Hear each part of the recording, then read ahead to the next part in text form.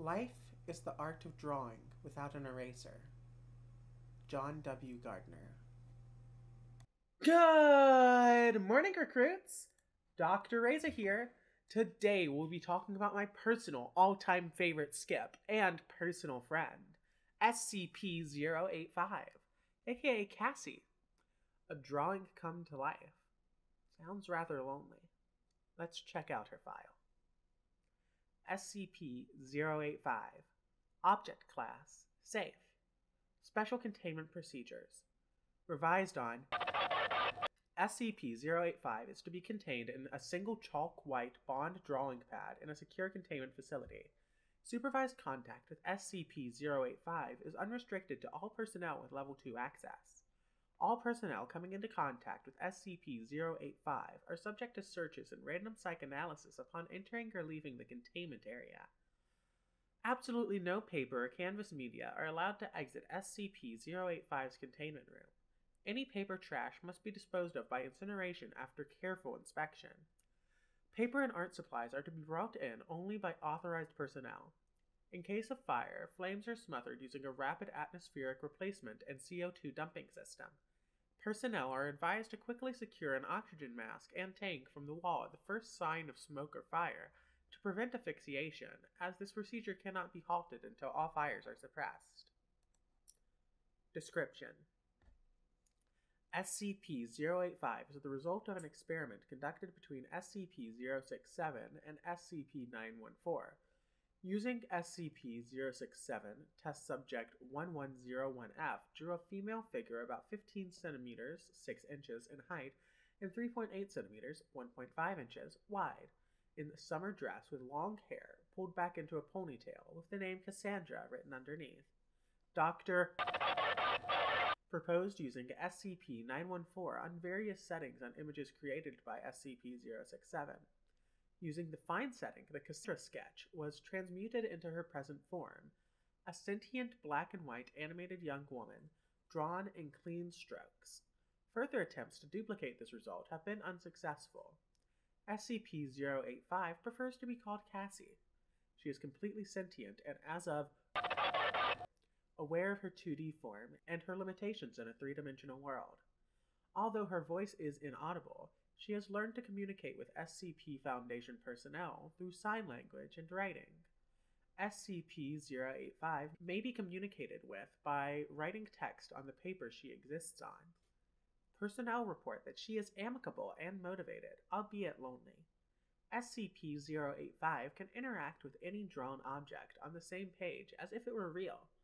For example, she is able to wear drawn clothing, drive sketched cars, and drink painted beverages, except for animals and people, becomes animated when in contact with SCP 085, but immediately ceases and holds position once out of contact. Artwork initially depicted as in motion, such as ocean waves and swaying trees, animate to an equilibrium state and stay at rest until acted upon by SCP 085. SCP 085 has also demonstrated the ability to transfer from one sheet or image to another as long as the two are flush. In the event SCP 058 enters a picture that does not support drawn objects, such as a repeating pattern, the picture is converted to a background image. SCP 085 perceives the picture as an endless plane of the image drawn upon it. At the present time, SCP 085 upon paper or canvas surfaces. SCP-085 cannot transfer onto photos, cardboard, glass, or parchment. When entering other pieces of art, SCP-085 takes on the artistic style of her new environment, whether it be a comic book, an oil painting, watercolor, or charcoal sketching. Note, in comic form, her voice is visible as thought and voice bubbles around her head in typical comic fashion, and as she moves between panels, the perspective and her relative size are altered appropriately. Document number 085 1 Introduction to Several Prints, authored by M.C. Escher. Researcher Cassandra, this is known as ascending and descending. What do you think? At this point, SCP 085 walks a few times around the staircase. SCP 085. It's pretty, I guess. Would make a neat exercise track. You see nothing inconsistent with the staircase?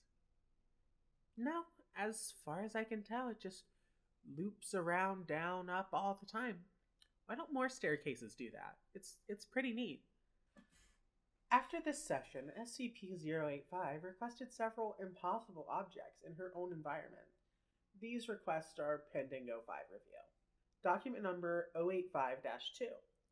Incident 085-A prior to SCP-085 was unaware of its status as a two-dimensional object in a three-dimensional world. Prior security protocols required that SCP-085 be kept unaware of its true nature in order to prevent psychological distress.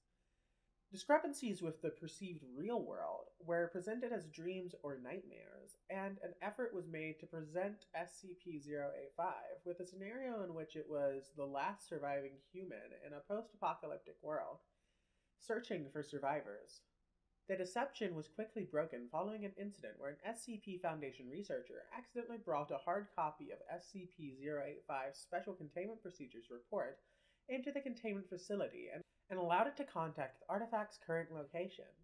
SCP 085 transferred onto the document before the researcher could remove it and was immediately made aware of its true nature.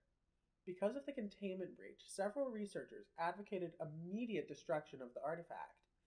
The decision was appealed to the O5 Council, which in a 2 decision advocated for SCP-085's continued existence. Since the revelation of her true nature, observers have noticed that SCP-085 has begun to show signs of clinical depression.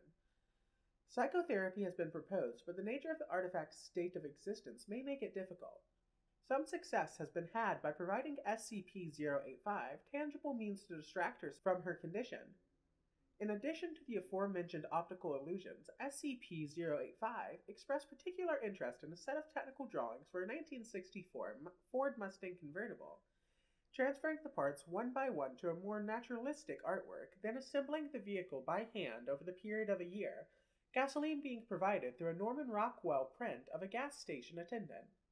Requests for further diversions of this nature are pending O5 level review and approval.